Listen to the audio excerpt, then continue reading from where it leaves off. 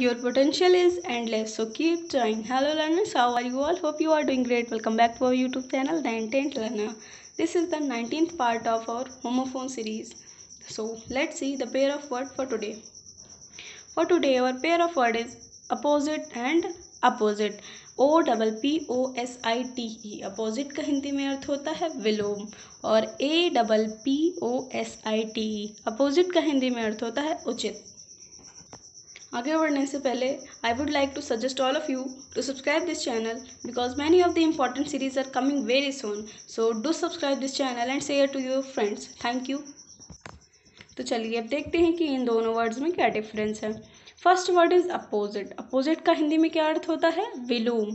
ठीक है? और इसके लिए एक वर्ड यूज़ कर सकते हैं एंटोनियम एंटोनियम का भी हिंदी में होता है अर्थ विलोम। सेंटेंस लिख सकते हैं इस प्रकार से कि wet is the opposite of dry इसका हिंदी में क्या मतलब हुआ? कि वेट यानी गीला, सूखे का अपोजिट होता है। तो जहाँ पे अपोजिट वर्ड है, ये जो अपोजिट वर्ड है, यही हमारा फ़र्स्ट वर्ड होमोफोन्स का है। तो चलिए अब देखते हैं दूसरा वर्ड जो कि है opposite a double p o s i t e opposite उसका हिंदी में क्या अर्थ होता है? उचित। इसके लिए एक और वर्ड यूज़ कर सकते हैं सीटेबल सेंटेंस लिखा है the film stars in a grave graveyard an opposite image for the theme of film ये क्या लिखा है? A double p o s i t e तो इसके लिए हम इस तरह का सेंटेंस यूज़ कर सकते हैं।